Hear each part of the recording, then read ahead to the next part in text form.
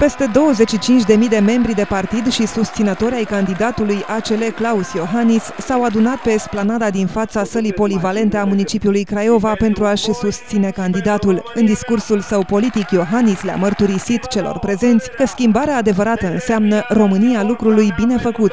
Pentru că România mea sunteți voi toți. Vreau să vă spun un lucru.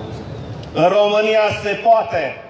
Există soluții există speranță, există un alt fel de viitor. Viziunea mea este România lucrului bine făcut. Primar al orașului Sibiu de 14 ani, Iohannis nu a ratat ocazia să amintească de ce este un om al faptelor și nu al vorbelor. Bazându-se pe gradul de dezvoltare al Sibiului, candidatul acele la prezidențiale a reproșat adversarului său Victor Ponta că nu a făcut nimic de când este premier. Drept urmare, nu va face nici ca președinte.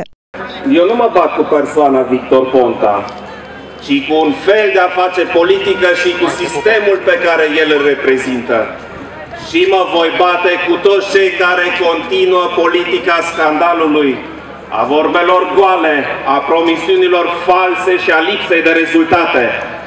Păcat că un om atât de tânăr a dezamăgit și a ajuns atât de repede și atât de ușor prizonierul unui sistem unui sistem care distruge mediul privat pentru a-i ține pe oameni în sărăcie și cu mâna întinsă la stat. Un sistem care disprețuiește educația pentru a-i ține pe oameni în ignoranță și distruge viitorul tinere generații. La Craiova, Claus Iohannis a venit însoțit de Vasile Blaga, Mihai Răzvan Ungureanu, europarlamentarul Marian Jean Marinescu, Ludovic Orban și mulți alți lideri de la centru.